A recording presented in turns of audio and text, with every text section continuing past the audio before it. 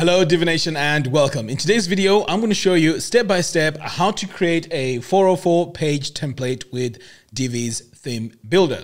This is the final result we're aiming to achieve. So without wasting a lot of time, let's dive in and let's get started.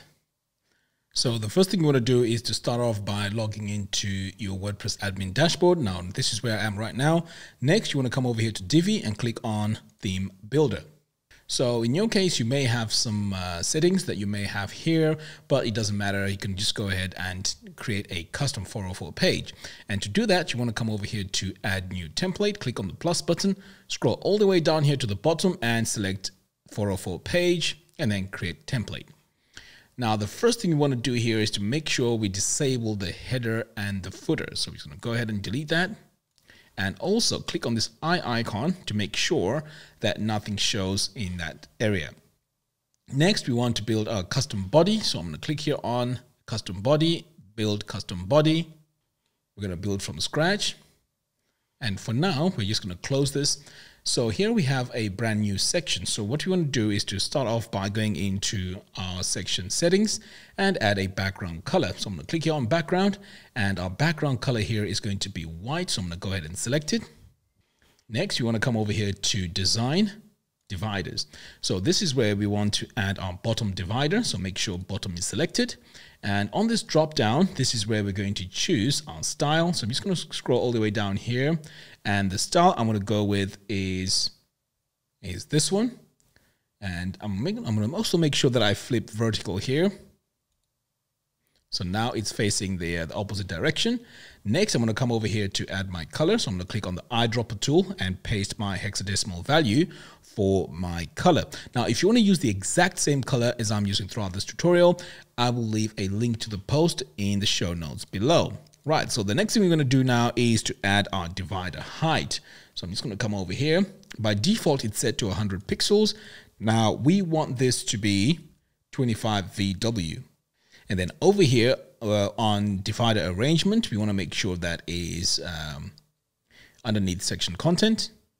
Now, it's also good practice that when we design our, our 404 page, we want to make sure that it looks great on all devices. So let's go ahead and make sure we have the right sizes for the other screen sizes. So I'm going to click here on this little icon, click on tablet, and on the tablet here, we're just going to make this 77 VW. And on the phone, we're going to make this 90 VW. Now the next stage is to add some padding. So I'm going to come over here to spacing. So we're going to start here with our top padding and we're going to set this to 4.6 VW. And we're also going to add the same value on the bottom. So to quickly do that, you just need to click on this chain icon and it applies the value both to the top and the bottom. Now it's time to add our rows. So I'm going to save this and then I'm just going to hover over here and add my row. Now, as you can see, I can't really see my options to add my row. So what you want to do here is to click on these three little dots here on the bottom, expand settings, and then you want to click here on wireframe mode. Now you can see we have access to add our row. So I'm going to click on this plus button, add a single column. Now, before we do any changes here, we just want to make sure we add all our, all our settings to our row. So I'm going to click here on this gear icon and I might as well flip over here to my desktop mode so I can see all the changes I'm making. So the next thing, the next thing we're going to do here is to adjust our gutter width. So I'm going to come over here to design sizing where it says use custom gutter width. We're going to uh, set this to yes, and then we're going to set our gutter width to one. Now, what the gutter width is, is the space between the columns. So we want to make sure that there's no spaces between the columns. Next, we're going to come over here to our width and set this to 100%. And also on the maximum width, we're going to do the same, set this to 100%. Now it's time to add our padding. So I'm going to come over here to spacing and we are going to add 2 VW both to the top and the bottom and then save. Right, now it's time to add our text module. So I'm going to click here on this plus button, search for my text module and select it. And in here, all we're going to add is this 404 and then we're going to customize it. So there we go. We have our text here uh, as 404. Now it's time to go to our text settings. So I'm going to come over here to design, text. So the first thing we're going to do here is to add our font. So By default, it's set to default, of course, but uh, we want our font here to be called um, Monoton. So I'm going to select it. For our text color, we're going to set this to black. So I'm going to click here, drag this all the way down here to black. And for our text size, we're going to set this to 24 VW. We're going to come over here to our line height, set this to 1 EM. And then we want to align this to the center. So I'm going to click here on our line center. So pretty much that's all we need to do here. I'm going to save this. And then we also need to add another text module. So I'm going to click on this plus button, search for my text module, select it. So this is where you want to add your text that describes what is happening on the page. For example, you can add text which says the page you're looking for is nowhere to be found, and then you can give further instructions. But in this case, I'm just going to add some dummy text, but of course you can add whatever text you want. Now let's head over to the text settings. I'm going to click here on design text and we're going to change our font here to Montserrat. So I'm going to search for it, select it. Our text color is going to be black. So I'm just going to come over here to my recent used colors and here it is. Select black. And then next we're going to set our size here to 1.2 VW. We also need to set our line height to 1 EM and we also need to align our text so everything is nice and centered. So now that everything is centered, the next stage is to add our margins. So I'm going to come over the, all the way down here to spacing. And on the margin, we're going to set this to 2VW to the top. And to the bottom, we're going to set this to 6VW. And then save. Right, so moving on, the next stage now is to add two more columns. So what we're going to do, as you can see here, the button is right here on the bottom, so make sure you mouse over this area here. So I'm going to click on this plus button, and this time we're going to add two columns. I'm going to go ahead and select them. We're going to go into the row settings. So I'm going to click here on this gear icon. So straight away, you need to go to the design tab. And then over here, you want to make sure that we add our width. So I'm going to come over here to sizing. And for our width, we're going to set this to 32 VW. And then over here, we want to make sure we set this to 100%. Now, while we're here on the width, we can also adjust this for our mobile devices. So I'm going to go ahead and click this little icon on the tablet. We're going to set this to 50 VW, and that's going to be the same as well for the phone. So I'm going to go ahead and add it. Next, we're going to come over here to spacing because we need to add our margins, and we're going to add 7 VW here to the top. And for the tablet, we might as well go in and add our sizes. So for the tablet here, we're going to set this to 22 VW and over here on the phone, we're going to set this to 59VW.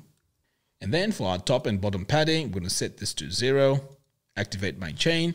So now equal values are applied both to the top and the bottom.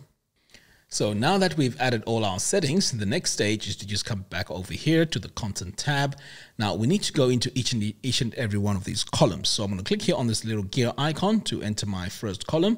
Click on background and we're going to start here by adding our background color, which is going to be white. So I'm going to go ahead and add that.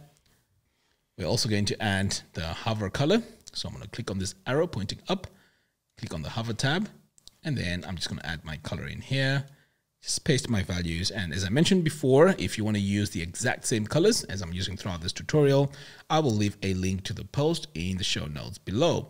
All right, so the next thing we need to do now is to add our borders. So I'm going to come over here to design, click on border, and we are going to give this some rounded corners of 20 pixels. Now notice that this chain is activated, so this applies 20 pixels all around to give this rounded corners. Next, we're going to add uh, some drop shadows. So I'm going to come over here to box shadow, click on this option here. And for our blur strength, I'm just going to come over here, set this to about 50 pixels. And then over here on the shadow color, I'm just going to click here on the eyedropper tool and then just change this value here to zero.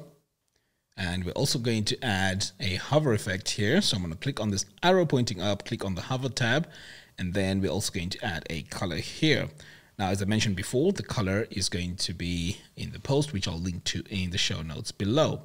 Now let's head over to the animation tab. So I'm going to come over here to transform. So the option I'm going to go with here is transform scale. So I'm going to click here on the first tab, which is the transform scale. So you want to make sure that this is set to 100%.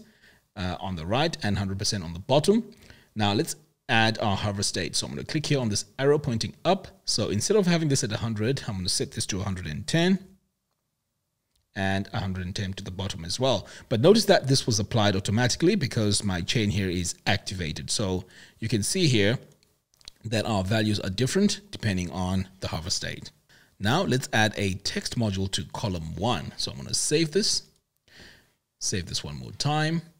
So as you can see here, I don't have the ability to add my modules. So again, I'm going to come over here to wireframe view, click on this plus button and search for my text module. I want to select it.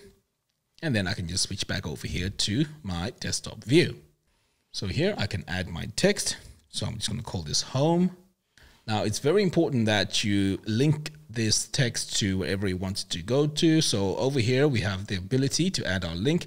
So in this case, I'm just going to add a blank link. But in your case, you want to make sure that this links to the home page or wherever you want the button to link to. Now let's customize this text. So I'm going to come over here to design text, change this and set this to Montserrat. Our font weight is going to be bold, uppercase, and our text color here is going to be black. So I'm going to click here on recent and choose my black color. And the next stage is to add our text size, which is going to be 0.8 VW. And over here, we're going to add a letter spacing of one pixel. Line height, we're going to set this to 1.8. And of course, we're going to center this. So I'm going to come over here and make sure it's centered. Now let's give this text some breathing space by adding some padding. So I'm going to come over here to spacing. And in fact, we need spacing here. So what we're going to do here is we're going to add a padding of 2 VW, both to the top and the bottom. So pretty much that's all we need to do. I'm just going to save here. Now to save us time, I'm just going to duplicate this and just drag it over here to the other column here on the right. So notice that it doesn't have the uh, white background. All we have to do now is to just copy all our styles and just paste them over here. So I'm just going to go into my settings here, right click, copy item styles, and then I'm just going to paste item styles here. And now you can see that it's been added over here to the right. So this is one of those quick tips that will uh, help you work faster in Divi.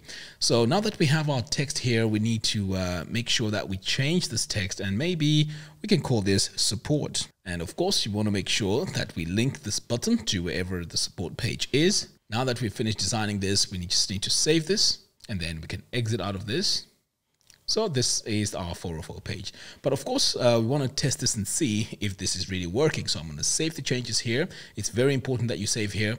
And now we're just going to open up a page that does not exist on our website. So I'm just going to open a new tab here and just type in you know some gibberish here and of course I know that page doesn't exist so let's see what happens when I go to that page and there we go the page is now showing and of course uh, if people click here, this will take them to the home page, and this will take them to the support. But of course, you can you can add uh, whatever buttons that you want here on these two buttons. So there you have it. Thank you all for watching. If you like this video, please give me a thumbs up and do follow us on our social media platforms.